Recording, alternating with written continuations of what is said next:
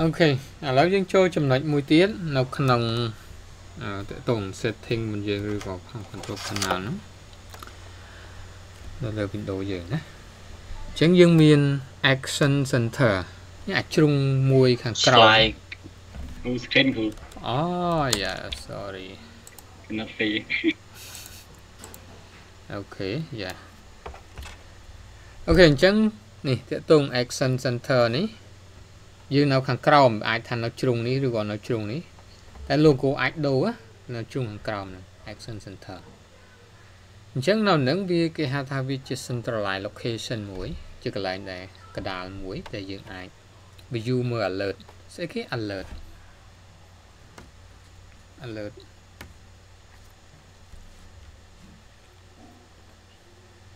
វាដូច notification អញ្ចឹងតែវាមាន alert មកអញ្ចឹងណា វាជាលក្ខណៈបែប notification មាន alert ប្រាប់យើងថាអូមានអីកើតឡើងតែវាអត់អត់នេះទេវាអាស្រ័យទៅ setting យើងកំណត់នៅហ្នឹងដែលធ្វើឲ្យយើងអាចដំណើរការម៉ាស៊ីនយើងយ៉ាងលូនវាអត់អត់អីរំខានលូតមកអញ្ចឹងណាហើយនៅនោះវាបានរៀបទៅតាមប្រភេទ security ប្រភេទ maintenance ហ្នឹងវាតាមតាមផ្នែកវាតែ setting នេះអាចបដូរពី version 1ទៅ version 1ណា សំបីនៅលើ Windows 10 update ផ្សេងផ្សេងគ្នានោះអាចខុសគ្នាតិចតួចនៅក្នុងនោះណាអញ្ចឹងកាលណាយើងឃើញអញ្ចឹងមានន័យថាយើង turn on នេះ turn ចេះ turn on turn ចេះអានេះអត់ turn on ទេណាអត់មានអូខេហើយប្រសិនបើអញ្ចេះវិញជាលក្ខណៈថា disable ហ្មងណាអត់មាន feature នឹងឬក៏អីយ៉ាងទៅណាអញ្ចឹងអានេះយើង start menu របស់យើងមកយើង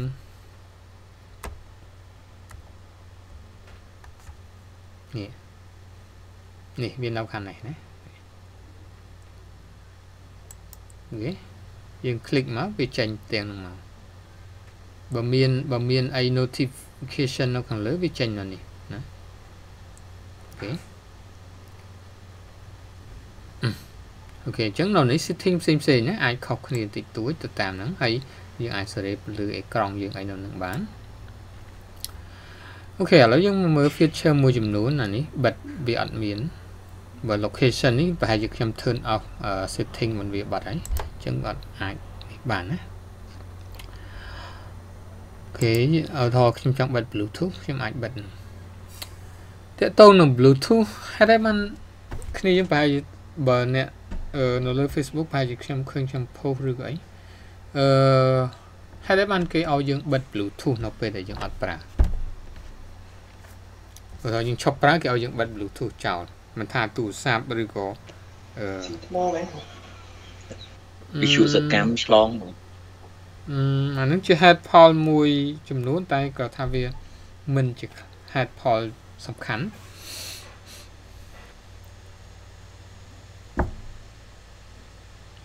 មានហេតុផលមួយទាក់ទងនឹងជាពិសេសទាក់ទងនឹង security ណាខ្លាចគេ hack ចូលម៉ាស៊ីនយើងយ៉ា ហើយស្អីកាលណាយើង turn on គេមាន tool ឬក៏ពួក hacker ហ្នឹងខ្ចីដៃ Bluetooth ហ្នឹងដើម្បី connect ចូលមក device ហ្នឹងដើម្បីវាលុបឬក៏លួចតិន័យឬហួហើយណាព្រោះខ្ញុំទៅប្រហែលថ្ងៃមុនហ្នឹងឃើញគេឃើញ media គេផុសអញ្ចឹងខ្ញុំក៏ screenshot ហើយខ្ញុំ share បន្តឲ្យយើងតាអញ្ចឹងអាហ្នឹងអឺ គ្នាយើងគួរ turn up ណានៅពេលដែលឈប់ប្រើអូខេហើយប្រសិនបើយើងនៅផ្ទះយើងឬក៏អីវាមិនសូវអីទេណាតែបើយើងនៅអ៊ីនធឺណិតកាហ្វេនៅអីយើងមិនដឹងថានៅកន្លែងមានពីណាខ្លះនៅហ្នឹងណាអញ្ចឹងគួរ turn off ផ្ទះយើងក៏ដូចគ្នាដែរនេះឧទាហរណ៍នេះនៅក្បែរនឹងអាយុហើយយើងមិនដឹងណាអញ្ចឹងយើងគួរ turn off ណាហើយណាមួយដូចគ្នាយើងថាអញ្ចឹងវា save នៅ battery យើងបន្ថែមទៀតផងដែរណា save battery របស់យើងថែមទៀតណាអូខេអញ្ចឹងវាមានមុខ option ជាច្រើនណានេះដូចមាន night light អញ្ចឹងយើងអាច turn on ទៅឃើញវារៀងទៅជាស្ទុំអីចឹងទៅណាអូខេយើងមាន tablet mode អានេះបើសិនបើកុំព្យូទ័រយើងប្រភេទ touch screen យើងមាន tablet mode ណាយើងអាច turn on tablet mode នេះទៅយើងអាចអឺនេះ tablet mode តែវាអត់ដូចអត់មានអីផ្លាយដែរតែអាហ្នឹងប្រសិនបើយើងអឺនេះវាថុច skin ណាខ្ញុំគូខ្ញុំតែខ្ញុំថាច់អត់កើតដល់គ្រូយ៉ាអា feature ខ្លះយើងអឺវាមានអាហ្នឹងតែពេលខ្លះមិនប្រកាសថាប្រើបានទាំងអស់ទេណា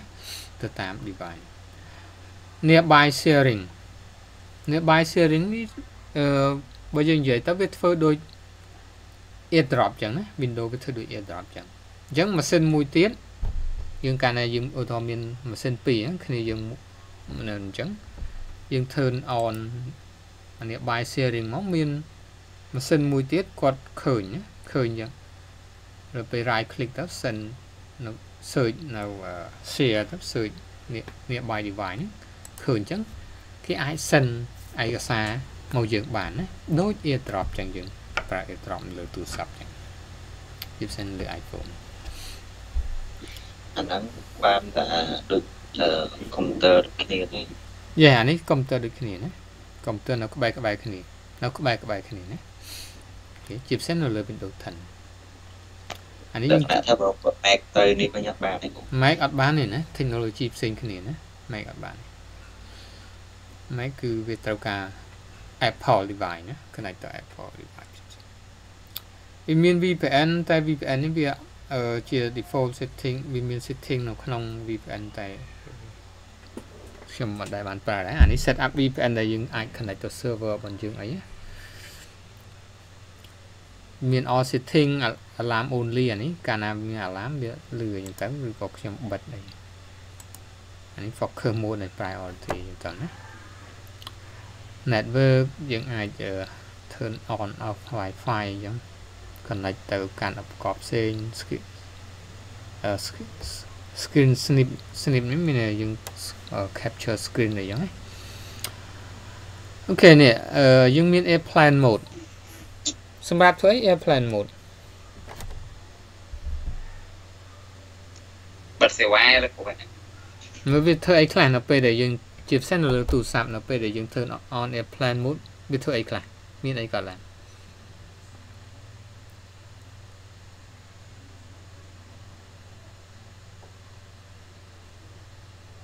តើមានអីកើតឡើងខ្លះ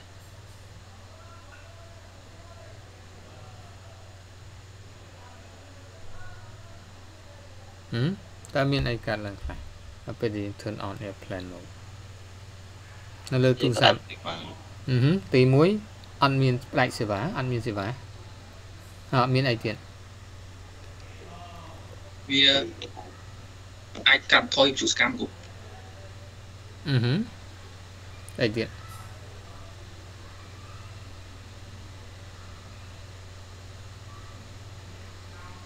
មើលជាពិសេសអ្នកប្រើទូរស័ព្ទអាចសាកមើលណាតែកុំឥឡូវបើយើងកំពុងអនឡាញយេអត់សេវាហ្នឹងទៅអត់ចូលហើយចែវថ្មលោកគ្រូយេសេវថ្មជាងមុនវាផ្ដាច់ Bluetooth ហើយ AirDrop យេ Bluetooth AirDrop ឬក៏ Wi-Fi ក៏វាផ្ដាច់ដែរមែនអត់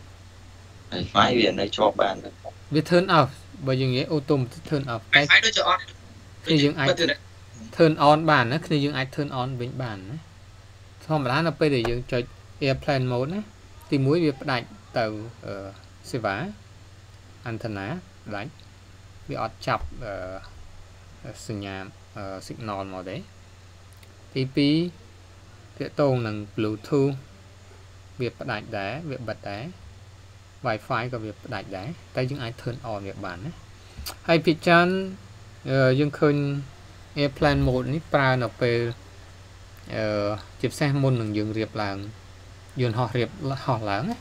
យើងចូលទៅលើយន្តហោះរៀបហោះឡើងគេឲ្យយើង turn on airplane mode ណាដោយសារដោយសារនៅពេលដែលយើងរៀបឡើងហ្នឹងអឺគេឲ្យយើង turn off ហ្នឹងគឺកុំឲ្យវាអឺ ជៀសវាងនឹងបញ្ហាឬក៏លោកសញ្ញាផ្សេងៗដែលយើងចាប់ពីអន្តនាឬក៏អីហ្នឹងវាប៉ះពាល់ទៅដល់បណ្ដាញនៅក្នុងយន្តហោះណាវាអាចរំខានឬក៏អីហ្នឹងធ្វើឲ្យវាមានបញ្ហាឬក៏អីចឹងណា turn on airplane ហើយនេះបានយកមកដាក់នៅលើកុំព្យូទ័រយើងដែរហហើយมันយូរមកដាក់លើកុំព្យូទ័រយ៉ាងណាទុកទុកការពារពេលភ្លៀងឲ្យលោកគ្រូ ការពារពេលភ្លៀងកុំព្យូទ័រយើង connect ទៅសេវាទៅអីដែរ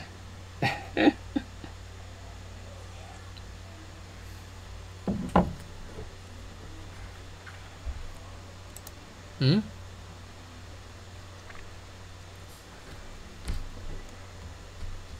ពួកកុំព្យូទ័រយើងក៏ក៏ប្រើប្រព័ន្ធសេវាដែរគ្រូអញ្ចឹងបានគេប្រកាសដល់មានបដាច់អឺ ប្រព័ន្ធសេវាអូកុំព្យូទ័រយើងមានកន្លែងដាក់ស៊ីមដែរចុះចូលពេលរៀបចំអាចយល់អឺហឹមយ៉ានៅពេលវាបិទ Wi-Fi ឬក៏ Bluetooth អីតែអឺបើសិនបើតែជាទូទៅចេះអឺដោយសារកុំព្យូទ័ររបស់យើងអាចនឹងត្រូវបានប្រើនៅលើយន្តហោះដែរ ហ្នឹងជាហេតុផលសំខាន់ណាហេតុផលសំខាន់ដោយសារដោយសារអឺជាពិសេសអ្នក business អ្នក business គាត់ឡើងយន្តហោះហើយក៏គាត់នៅចុចកុំព្យូទ័រដែរណាតែឃើញជាពិសេសនៅក្នុងរឿងមែនទេក្នុងរឿងហើយបើយើងធ្លាប់អានសភៅ Samsung Way បុគ្គលិកថ្នាក់ដឹកនាំជាច្រើន ឋានៈធំធំដែលគាត់ឧស្សាហ៍ធ្វើការជាមួយបរទេសឬក៏ធ្វើដំណើរពីប្រទេសមួយទៅប្រទេសមួយសាខាក្រុមហ៊ុនគេអីចឹងគឺនៅពេលប្រជុំចប់អីគាត់ត្រូវឡើងយន្តហោះមកភ្លាមអីចឹងគឺគាត់អង្គុយសរសេរ report នៅលើយន្តហោះនឹងតែម្ដងណាអញ្ចឹងបានអឺគេឲ្យមានអានឹងដែរណាគឺ turn on airplane mode គ្រប់ device ណាគ្រប់ electronic device គេថាកុំព្យូទ័រ អូខេមួយទៀត hotspot mobile hotspot ទីគេ hotspot នៅលើទូរស័ព្ទយើងធ្វើ hotspot បានមែនទេ share internet ទេអឺហឹមយើងអាច share internet បានចុះនៅលើនៅលើកុំព្យូទ័រ hotspot យើងប្រើសម្រាប់ធ្វើអី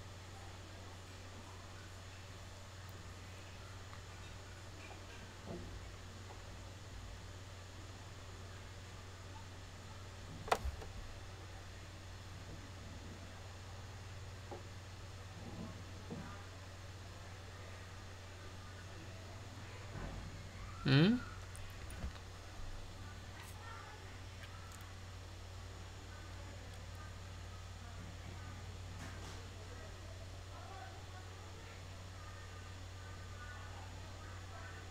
គឺ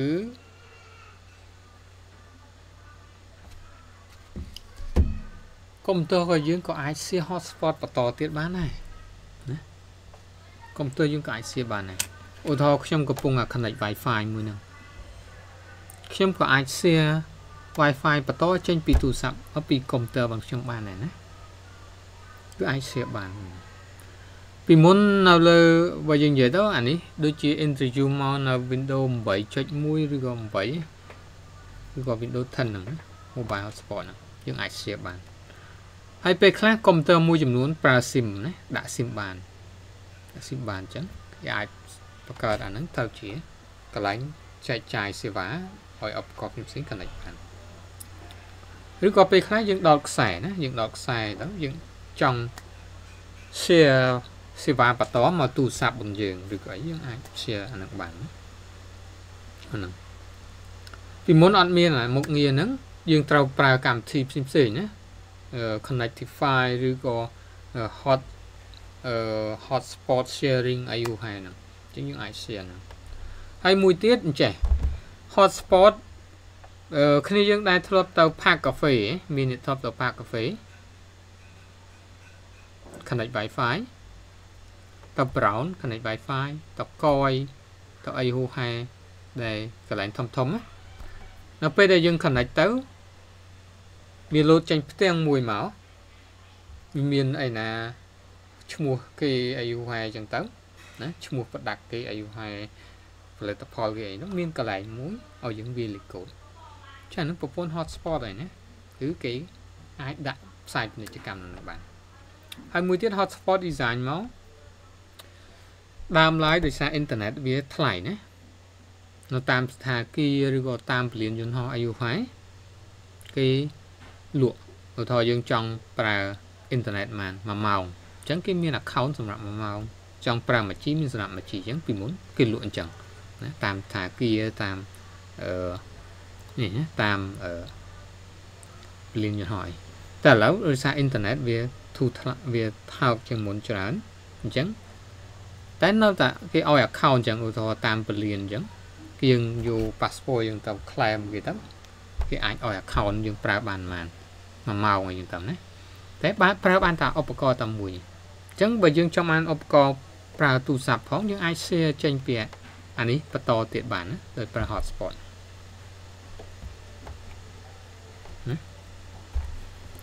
ឬក៏ពេលខ្លះឧទាហរណ៍នេះជាក់ស្ដែងហ្មង ឧទាហរណ៍នៅផ្ទះខ្ញុំអញ្ចឹងខ្ញុំមាន router នៅខាងក្រោម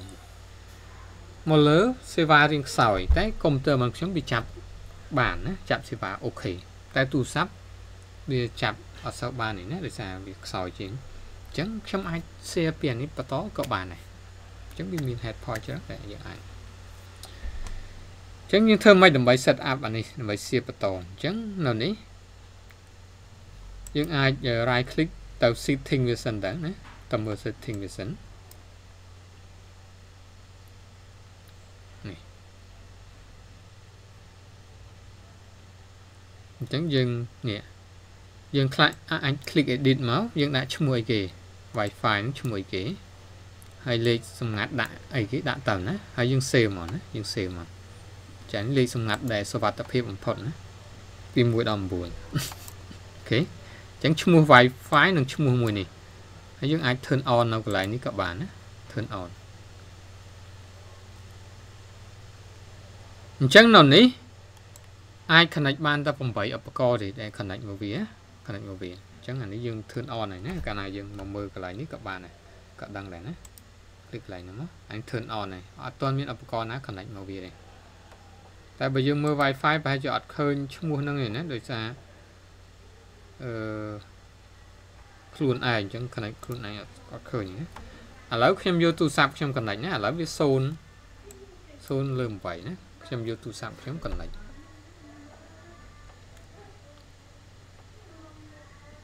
ទេឥឡូវខ្ញុំ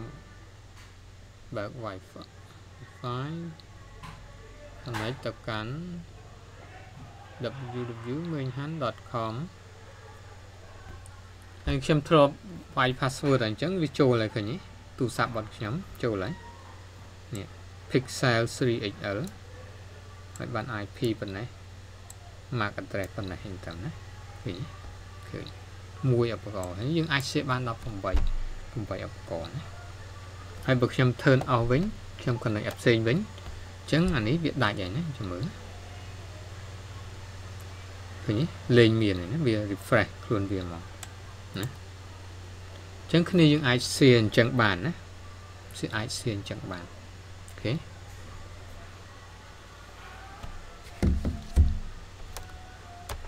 Any question នេះគ្នាយើង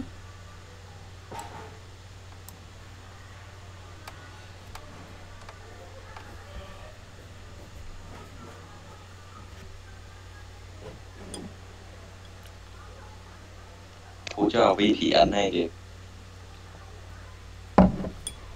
VPN service នេះគឺកន្លែងយើងអាចកំណត់ connect ទៅកាន់នេះទៅកាន់ server ឬក៏ system របស់យើងណា connect នេះយើងអាច add VPN connection នេះអញ្ចឹង VPN provider ឈ្មោះអីហើយ connection name server name ឬក៏ IP អីចឹងណាអញ្ចឹងអាហ្នឹងឧទាហរណ៍នៅក្នុងក្រុមហ៊ុនយើងមានរៀបចំ VPN server នៅលើម៉ាស៊ីន server អញ្ចឹងហើយយើងចង់ connect ទៅនឹងអញ្ចឹងយើងគេបង្កើត account មកយើងអាច connect ទៅបានណានៅពេលដែលយើង connect VPN នេះគឺវាធ្វើការ encrypt connection មានន័យថាអាយើង connect ពីនេះទៅ server គឺ private វាបំលែងតម្រង់ទៅចំនួនមួយមើលអត់យល់ហើយទោះគេនៅចន្លោះនឹងមានគេចាប់យក traffic យើងក៏គេមើលអត់យល់ដែរណា ហើយយើងកាលណា connect ទៅហ្នឹងយើងធ្វើការដូចយើងនៅ office អញ្ចឹងយើងអាចចូលទៅកាន់ share folder ចូលទៅកាន់អីទាញយកឯកសារមកធ្វើការធម្មតាណា VPN អូខេហ្នឹងជា VPN តែ VPN application ផ្សេងណាអាកម្មវិធី VPN ដែលយើងប្រើលើទូរស័ព្ទឬក៏អី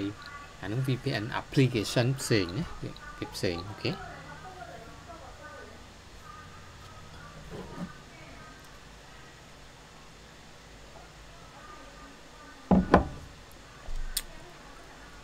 អូខេអញ្ចឹងស្លាយមួយទៀត window firewall what is window firewall what is firewall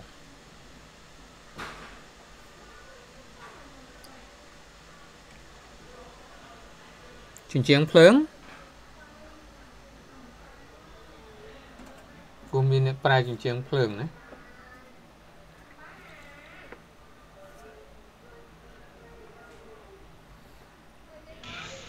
ដូចប្រូក្រាម antivirus ដែរមែនអឺវាស្តៀងនឹង antivirus ដែរតែការងារវាផ្សេងគ្នាណាវាបើយើងនិយាយទៅចំណាបិចខ្ញុំចេះបិចខ្ញុំទៅណាបាទគូឡើងគូចឹងទុកទៅណាអូខេ where is it firewall នេះគឺវាការការពារពីការវាយលុកពីខាងក្រៅណានេះ malicious attack ពី hacker ពីអីការវាយលុកពីខាងក្រៅមកដែលមានគោលបំណងដើម្បីធ្វើការ harmful ទៅលើម៉ាស៊ីនរបស់យើងណាឬក៏ធ្វើឲ្យម៉ាស៊ីនយើង down ឬក៏អីណាអញ្ចឹងនៅនេះឧទាហរណ៍ថាយើងអឺ កុំព្យូទ័រយើងអញ្ចឹងអញ្ចឹងយើងប្រៀបធៀបដូច firewall ដូចជាជញ្ជាំងមួយអញ្ចឹងណាហើយ firewall អញ្ចឹងនៅពេលដែលគេ connect ចូលមក firewall ហ្នឹងជាអ្នកត្រួតពិនិត្យនៅមើល connection ហ្នឹងបើ connection ហ្នឹងជាលក្ខណៈ attack ធម្មតាការវាយលុបវាមិនមែនតែមួយមែនទេវាច្រើនណាសិនមកច្រើនអញ្ចឹងនៅពេលហ្នឹងអានេះចាប់បានជាសកម្មភាពថាជាលក្ខណៈបែបហ្នឹង វា block ហ្មងវាវា block ចោលនៅហ្នឹងអត់ឲ្យអត់ឲ្យ connect មកដល់ system របស់យើងទេណាអត់ឲ្យ connect មកដល់ system របស់យើងទេណាអញ្ចឹងទូនាទីវាគឺអញ្ចឹងណាតែ firewall វាមានពីរប្រភេទណាវាមានគេហៅថា hardware firewall អាហ្នឹងភាគច្រើនប្រើនៅនៅលើ system ធំធំអញ្ចឹងណាមុននឹង connect ចូល system គេគេមានឆ្លងកាត់ hardware ឆ្លងកាត់ឧបករណ៍មួយ វាធ្វើការ analyze ទៅលើ traffic ទាំងអស់ហ្នឹងបើអូខេបានវាឲ្យចូលបើអត់ទេវាទម្លាក់ចោលហ្នឹងឬក៏វាអាច report ទៅ admin អញ្ចឹងទៅណាទៅតាមការរៀបចំគេហ្នឹងចឹងនេះវាមាន setting ដែលយើងអាចកំណត់សម្រាប់ home សម្រាប់ work ឬក៏ public ណាអញ្ចឹងវានៅនេះយើងឃើញមាន private លក្ខណៈ home ហ្នឹង guest ឬក៏ public network ណាហ្នឹង ចឹងយើងអាច turn on turn off អីហូហែដើម្បីអីអឺអនុញ្ញាតដើម្បីតេស្តឬក៏អីហូហែយើងអាច turn on turn off អីបានណាឬក៏យើងអនុញ្ញាតឲ្យ program ណា connect ចូលបាន program ណា connect ចេញបានឬក៏យើងបិទ program អត់ឲ្យ connect ចេញឬក៏អីយ៉ាងតាមណាវាមានហ្នឹងអូខេឥឡូវយើងចូលទៅកាន់ control panel សិនមក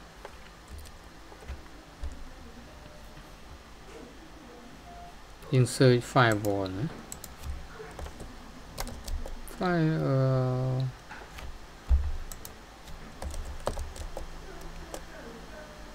ឺនេះវាដាក់ window defender firewall ណា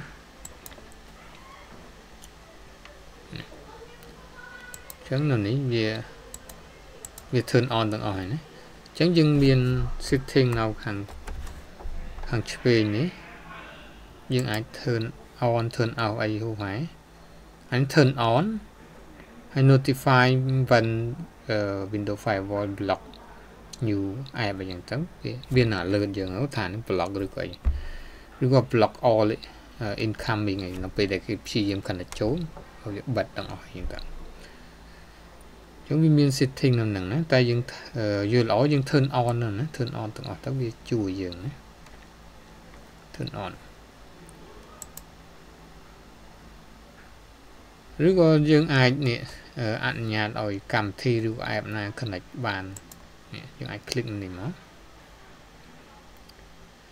គឺកម្មវិធី AnyDesk អីចឹង private network អត់ឲ្យ connect យើង connect នេះអញ្ចឹងបើយើងបិទទៀតនេះ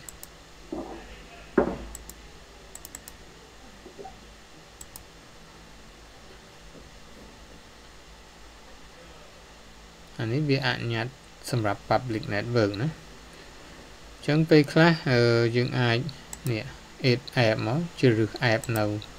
ទីតាំងណាមួយមកដូច zoom មកចឹងទៅយើង add ចូលទៅហើយ zoom យើងអនុញ្ញាតឲ្យគេ private network អត់ឬក៏អីព្រោះយើងអាច remove ចេញវិញអីចឹងទៅណា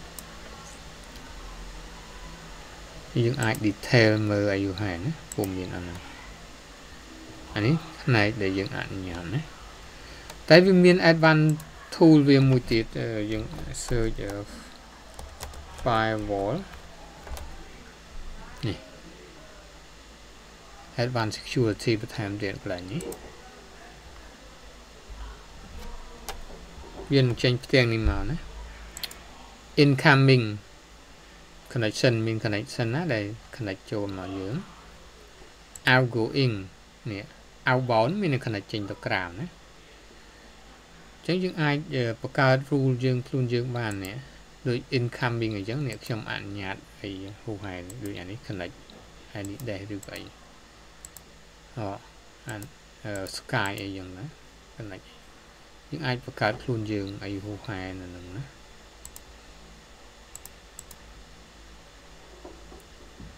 អាច monitor ទៅលើ firewall អីហើយអនុញ្ញាតស្អីខ្លះអីខ្លះអញ្ចឹងវាមានមានពុំមានច្រើនណាហ្នឹងអូខេឬក៏ពេលខ្លះយើងបិទអត់ឲ្យអេបណា connect ទៅក្រៅអញ្ចឹងបានណា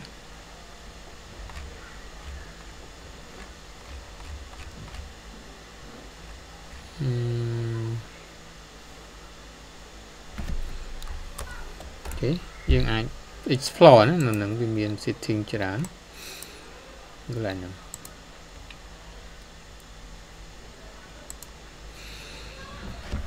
Any question here?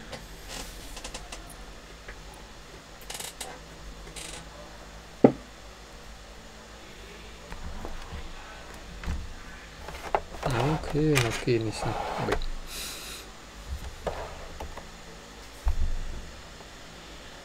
អត់មានទេគ្នាយើងអត់មានទេយើងតាមមុខនេះទៀតណា power option power option នេះមានប្រយោជន៍ច្រើនសម្រាប់គ្នាយើងអាយើងចេះប្រើវាបានត្រឹមត្រូវណាចឹង power option នេះអនុញ្ញាតឲ្យយើង adjust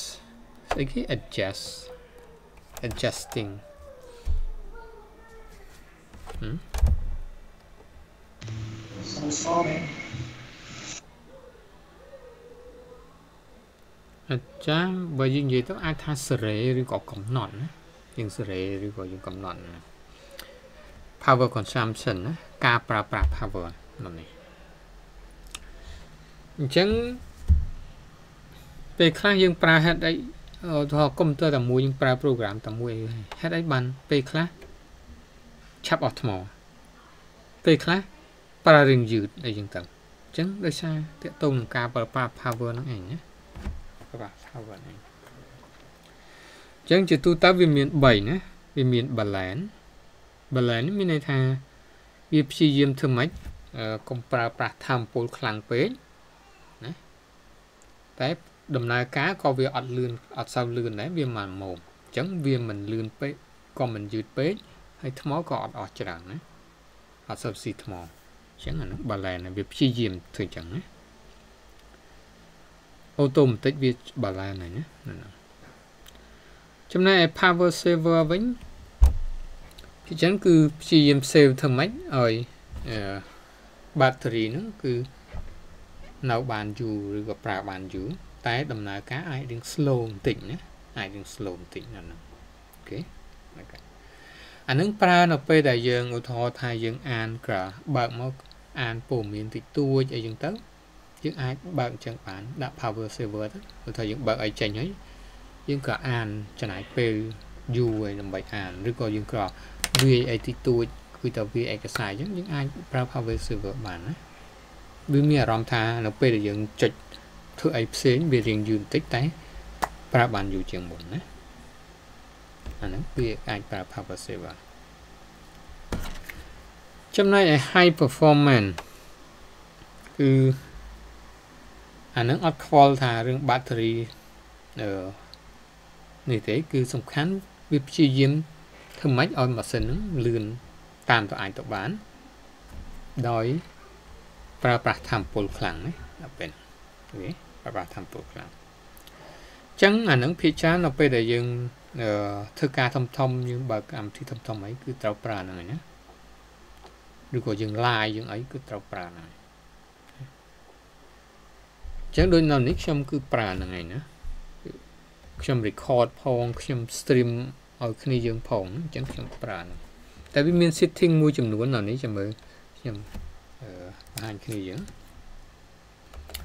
អញ្ចឹងយើងអាច search បាក់ search ក៏បានឬក៏យើងអឺ search power option ហ្មងឬក៏យើងចូលទៅក្នុង control panel ក៏យើងឃើញមានដែរនេះ edit power plan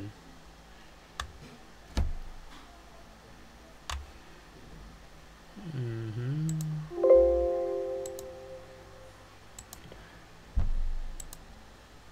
នេះនៅពេលចូលមកយើងឃើញមាន តាប់បាឡែនមួយទេណា plan វាលេងមានឲ្យច្រើនហើយតែអានេះខ្ញុំដោយសារខ្ញុំបង្កើតខ្លួនឯងមួយទៀតទេរៀនកុំព្យូទ័រ101តែវា plan អននេះគឺលេងមានប្រសិទ្ធភាពហើយណាទៅទៀតខ្ញុំបង្ហាញគ្នាយើងអានៅ setting វា move មក setting កន្លែងផ្សេងណា plan នេះអញ្ចឹងដូច balance អញ្ចឹងយើងអាច edit change setting នឹងវានេះកាលណានៅលើ balance អឺ on battery កាលណាយើងកំពុងអត់ផ្សាកថ្មទេណាអញ្ចឹងយើង turn off display យើងបិទ monitor រយៈពេលប្រហែល10នាទីអត់ធ្វើអីសោះ10នាទីវាបិទ monitor 20នាទីឲ្យវាដាក់ឲ្យវា sleep computer ណាតែបើយើងនៅពងសាយើងអាចកំណត់បានណាយើងអាចកំណត់បាន never ឬក៏អីចឹងទៅណាអញ្ចឹងអាហ្នឹងអាស្រ័យនឹងការជ្រើសរើសរបស់យើងណា okay ហើយវាមាន setting មួយចំនួននៅពេលដែលយើង press power button ឬក៏ close អេក្រង់អីយើង click អាណាមួយក៏បានវានាំទៅកន្លែងតែមួយនេះនៅពេលដែលយើងចុចប៊ូតុង power button គ្នាយើងស្គាល់ power button ឯងនៅលើកុំព្យូទ័ររបស់យើងអរគុណបាយគាត់យ៉ា កន្លែងយើងបិទបើកបើកជាពិសេសអាប៊ូតុងយើងចុចបើកហ្នឹងគឺ power how power button ណាអញ្ចឹងយើងឲ្យវាធ្វើអីឧទាហរណ៍នៅពេលដែលយើងចុចអានឹងចុចតែមួយទេឲ្យកុំព្យូទ័រ sleep ឬក៏យើងអត់ធ្វើអីឲ្យ do nothing ណាឬក៏ឲ្យវា hibernate hibernate ស្តៀង sleep ដែរតែអឺនេះវាមិន sleep ក៏មិន shut down តែវាក្នុង state មួយស្តៀង sleep អញ្ចឹងម៉ាស៊ីនយើងអឺលេងដំណើរការតែ slip ថ្មឬក៏ system អីនៅដំណើរការ hibernate អត់ទេតែវានៅចាំនៅ state យើងធ្លាប់ធ្វើអីធ្វើធ្វើអីបើកមកវាអា service on ហ្នឹងវានៅដំណើរការធម្មតាអាហ្នឹងវា C memory ស៊ីអីតែគាត់ថាប្រើអាហ្នឹងវាអត់ល្អចំពោះ hardware ណាបើយើងប្រើញឹកញាប់ណា យូរយូរយើងប្រើម្ដងបើនិយាយតែនេះវាអត់ល្អសម្រាប់ hardware ណាឬក៏យើងទៅចុចអាហ្នឹងឲ្យវា shut down ឬអីចឹងអាហ្នឹងអាស្រ័យយើងណាស្រ័យយើងពេលចុចប៊ូតុង sleep ចំកុំព្យូទ័រយើងមានប៊ូតុង sleep ដែរមានទេកុំព្យូទ័រយើងមានប៊ូតុង sleep ទេយើងមានចុចមានតា ដូចជាអត់ដល់ខ្ញុំប្រូមាន F11 F11 វា assign នៅលើកុំព្យូទ័រតែ F11 ខ្ញុំកន្លែងហ្នឹងទៅថយពន្លឺអឺប្រភេទកុំព្យូទ័រខ្លះគឺមានប៊ូតុង slip ប្រភេទខ្លះអត់មានទេណាប្រភេទខ្លះអត់មានទេអញ្ចឹងអាហ្នឹង assign នៅលើកុំព្យូទ័រណាតែលើកុំព្យូទ័រតែជាទូទៅគឺអត់មានណាភាកច្រើនមកភាកច្រើនគឺអត់មានប៊ូតុង slip មានតែប៊ូតុងគាត់មានរូបសិទ្ធិ bớt bớt xong làm một? À, miên đôi là tôi nâng nó thì cao một đây rồi. Cái miên là đã sập lai ra rồi.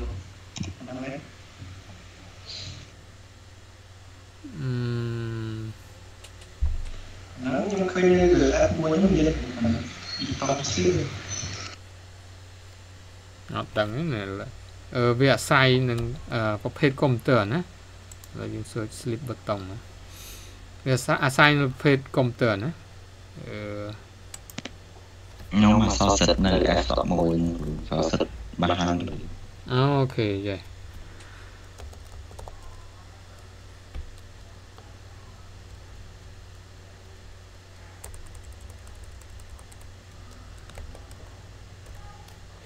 ចឹងវាអាស្រ័យណាម៉ាស៊ីនខ្លះមានម៉ាស៊ីនខ្លះអត់ទេណា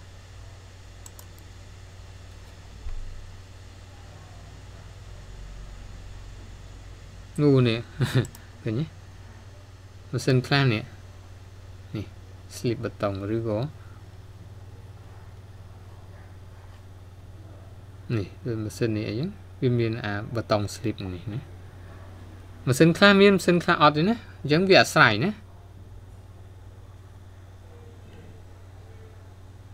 អូខេវាអាស្រ័យហ្នឹងអូខេនេះ នេះដូចអានេះអីវាមានអូខេអានេះវាមានដាក់ slip ហ្មង slip ឬក៏អក្សរ Z ហ្នឹងចឹងវាអាស្រ័យណាអាស្រ័យនឹងទៅលើប្រភេទកុំព្យូទ័រណាអាស្រ័យប្រភេទកុំព្យូទ័រខ្លះវាមានប្រភេទកុំព្យូទ័រខ្លះអត់មានទេណានេះ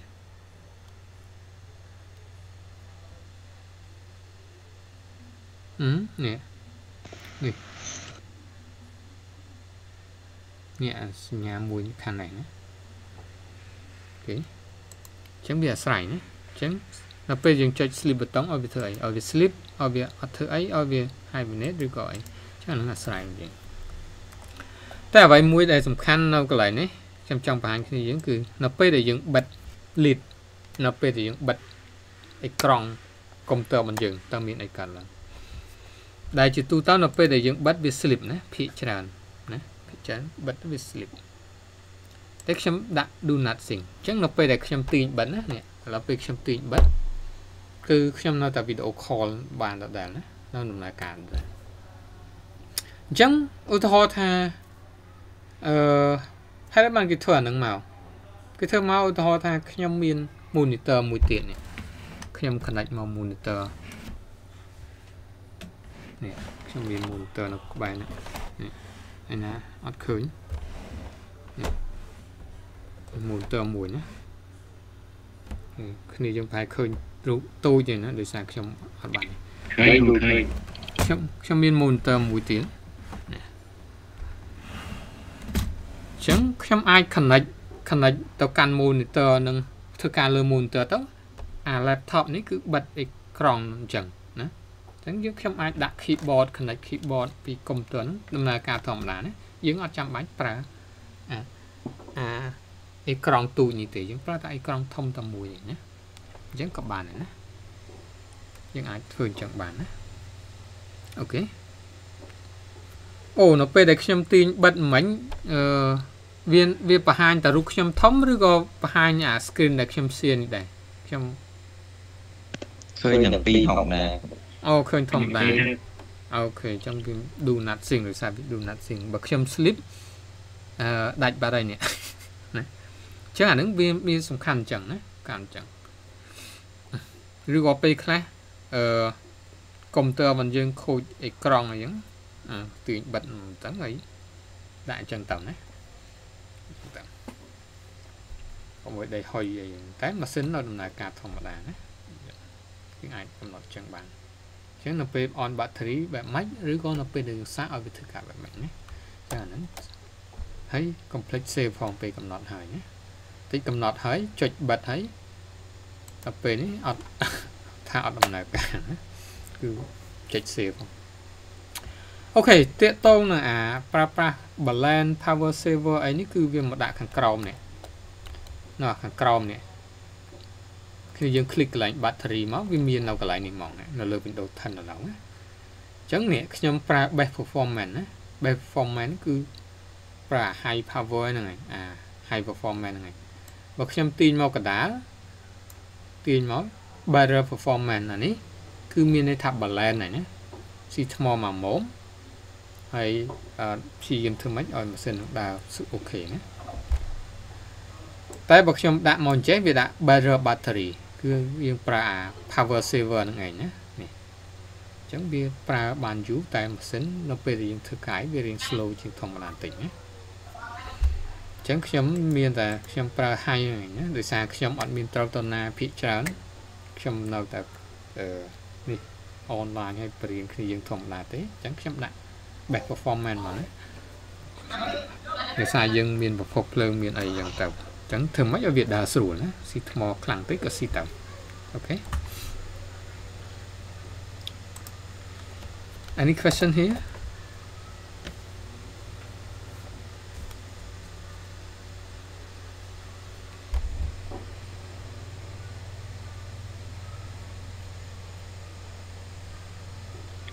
Cool. So, កន្លែង plug in ហ្នឹងចាំបាត់ទៅបានកន្លែងណាកន្លែងណា plug plug in ហ្នឹង plug in ហ្នឹង power option plug ហើយ in មាន plug in plug in ក្នុងហ្នឹងមិនគឺក្នុងគឺមានអាមកជូអីមានអា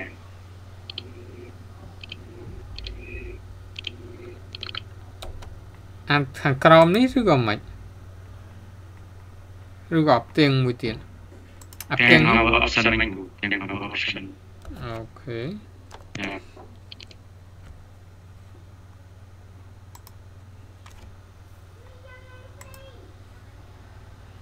នេះកន្លែងនេះកន្លែងណាគូចូលអានេះហ៎ហ្នឹងគឺ plug in គឺតើណាចិត្តអូ plug in មានន័យថាយើង នៅពេលដែលយើងកំពុងសាកណាអានេះយើងកំពុងសាកថ្ម កំពុងសាកហើយយើងប្រើហ្នឹងណានៅពេលយើងកំពុងដោតដោតថ្មដោត power ណាដោតដល់ប្រភពភ្លើងអាហ្នឹងមានន័យចឹងអានេះមានន័យថាយើងដកចេញផុតហើយនៅពេល on battery យើងប្រើតាថ្មឯណាពេលអូខេ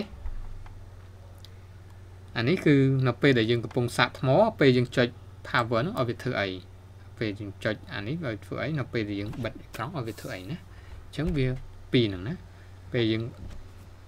ប្រើអត់សាកថ្ម ហើយនឹងពេលយើងកំពុងអាប្រើយើងកំពុងអាសាកនេះវាមិនអញ្ចឹងវាមាន option ផ្សេងគ្នាអូខេ plug in មានន័យយើងកំពុងអាដតសាកដតសាកណា yes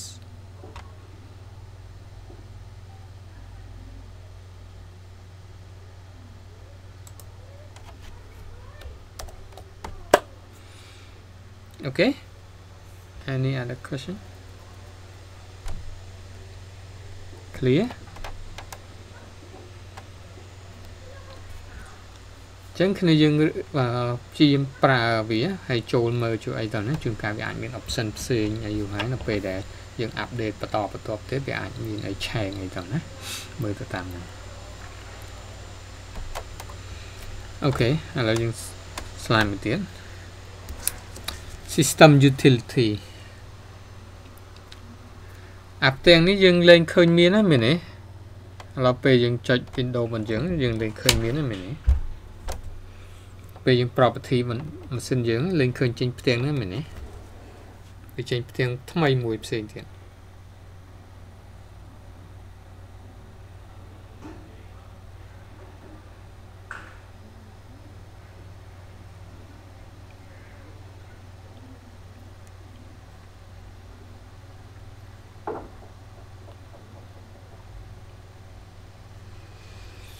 ចឹងនៅនេះគេថាវាដើរតួជា system information hub ស្អីគេ system information hub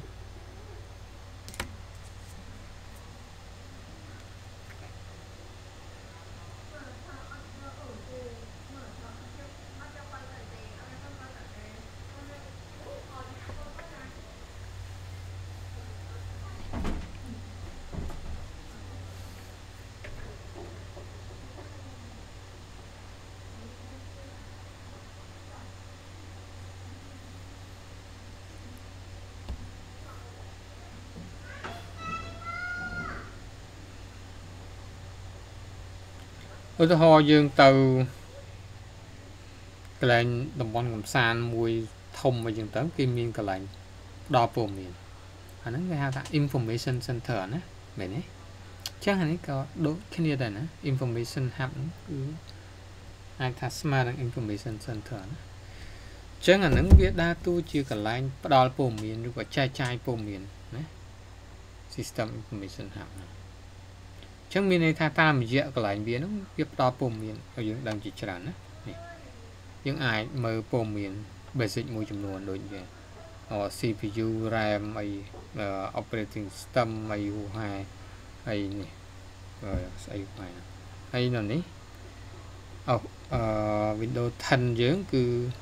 release ដំបូងណាឲ្យឲ្យប្រើដំបូងនៅ2015ណាអូខេ ចេញនៅ2015ឥឡូវ2021អញ្ចឹង6ឆ្នាំហើយណាអញ្ចឹងបានវាចាប់ផ្ដើមចេញ Windows 11ណាតែ11អត់ទាន់ចេញឲ្យប្រើប្រាស់ជាផ្លូវការទេណាចេញតាមរយៈតាម Windows Insider លក្ខណៈ beta ជាលក្ខណៈ beta បើយើងនៅក្នុង Windows Insider ឬក៏ប្រសិនបើយើងនេះយើងមានតែ download អា leak អា leak ដូចថា leak ធ្លាយហ្នឹងបែកធ្លាយហ្នឹង download ហ្នឹងមកតេស្តតែ official release មិនវាមិនទាន់ចេញទេណា ទាន់ចេញវាអាចតាមពុំមានដូចជាអាចខែខែ10តែអត់ទាន់ច្បាស់ណាអត់ទាន់ច្បាស់ឬក៏អាច10ខែអឺដល់ឆ្នាំក្រោយឬក៏អីអត់ទាន់ច្បាស់ណាចឹងដល់នេះយើងអាច connect មក tool អីផ្សេងផ្សេងណា tool ឬក៏ advanced setting មួយចំនួនកន្លែងចឹងដើម្បីចូលកន្លែងហ្នឹងគ្នាយើងអឺ នេះមកក្រប property លើម៉ាស៊ីនយើងមក DPC property មកតែឥឡូវវាលេងចេញផ្ទាំងអញ្ចឹងហើយវាចេញផ្ទាំងផ្សេងមួយទៀតណាផ្ទាំងបែបនេះផ្ទាំងបែបនេះអូខេអញ្ចឹងវាមានពុំមានច្រើនជាងមុនណាមានពុំមានច្រើនជាងមុនមកហើយនេះម៉ាស៊ីនឈ្មោះ i CPU យើង RAM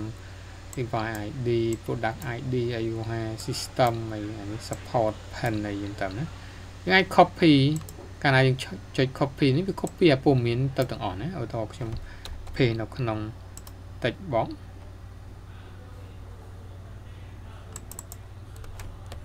គឺមានព័ត៌មានទាំងអស់ហ្នឹងមកឃើញទេទាំងអស់ហ្នឹងវា copy អា version ចាស់យើងអត់អាច copy អីនេះ ចឹងយើងនៅលើ Windows Home AUI ចឹងទៅណាអាចឆែក upgrade serial AUI កន្លែងហ្នឹងហើយវាមាន advanced setting មួយចំនួន AUI នៅខាងในទៅឬក៏នៅខាងឆ្វេងដែរយើងមាន setting ជាច្រើននៅកន្លែងហ្នឹងណាអូខេចានេះ setting ថ្មីអនវាណា battery sound display AUI អញ្ចឹងវាមានច្រើនទៅតាមហ្នឹងណាតាមហ្នឹង okay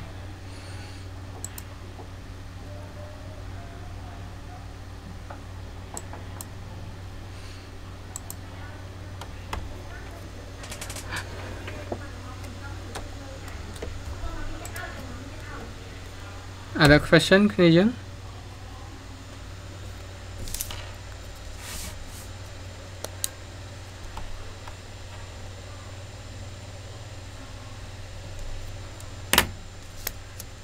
Cho nên tôi nói khi mà đòn này nó vì mê riêng tìm muốn mà đòn đòn này